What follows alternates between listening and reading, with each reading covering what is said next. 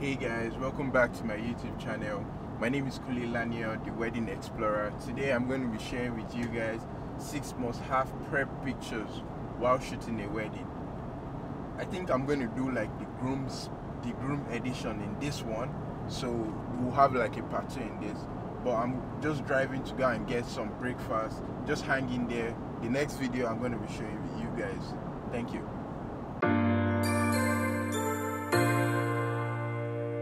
Hey guys, so the first thing that on my list we have to be the detail shots.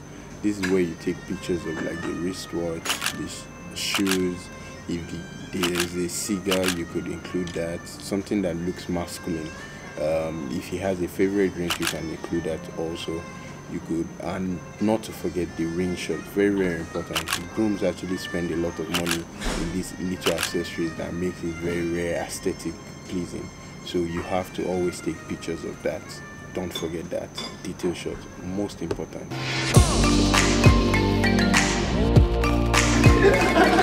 So the second thing on my list we have to be the, like the groom's dress up this is where you invite like the best man or someone special. So what i do in this case is i find whether the groom's brother and i just say oh you will be the one to have to wear his wristwatch maybe his cufflink so get everybody involved in the dress up.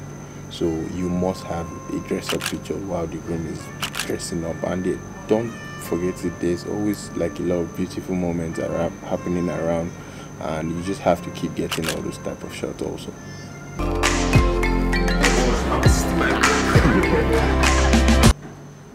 So the third thing on my list will have to be activities in the dressing room sometimes um, you there are like a lot of activities happening in the dressing room.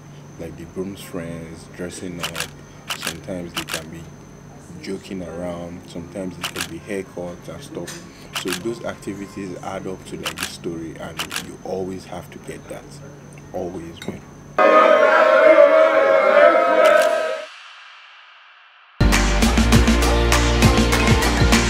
This brings me to my fourth point, which is the groomsmen toast or the prayer. This is where you gather like everybody around and either tell them to say a prayer to the groom or you can have them like pour serve themselves like a bottle of Jameson. You get what I mean? And just have them to like say something on the behalf of the the day or the groom, like wish, wishing the groom prosperity.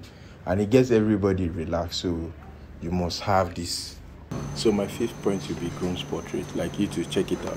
What's a wedding? Like he's the groom, and you can't take a portrait. Ah, uh, come on, it's police now. So um, groom's portrait is like very very important, and it's best done while he's still fresh. So immediately just wears like dress ups. Like you just need to take it before he goes out. Usually, sometimes they usually like call him. A lot of people dragging around, but while he's dressing up, it's best to take his portrait it's usually fresh. And the remaining thing of course will just be vibes and candid moments. But groom's portrait very important.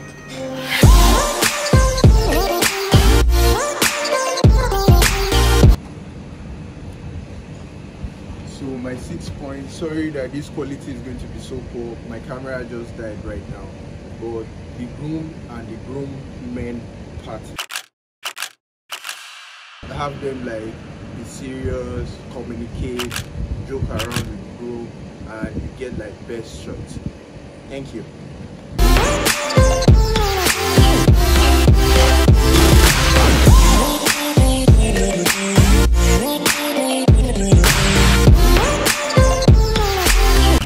So, Kunle, you actually forgot to tell them to subscribe.